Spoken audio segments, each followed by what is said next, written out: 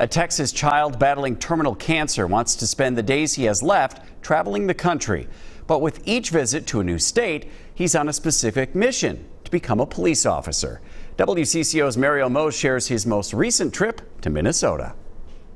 Repeat after me each line, okay? 11 year old Devarjaye Daniel, better known as DJ, I will always have the courage. is now an honorary police officer for five Twin Cities Metro Police Departments. Congratulations.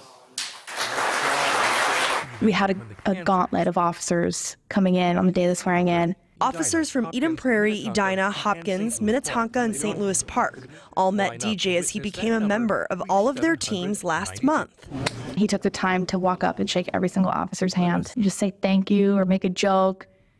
Is incredible, I think, for everyone involved. Eden Prairie Patrol Officer Allie Biermeyer is the one who got the idea to bring DJ to Minnesota. She saw online that DJ was being sworn in at hundreds of police departments across the country.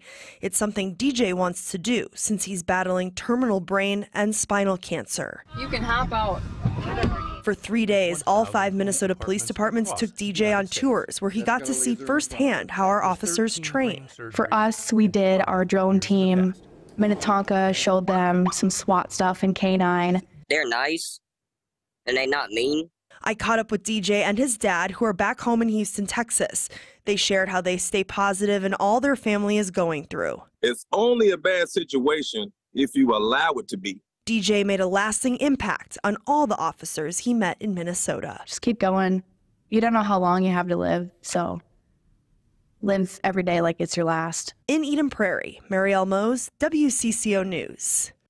After his visit to Minnesota, DJ has officially been sworn in to 792 police departments across the country.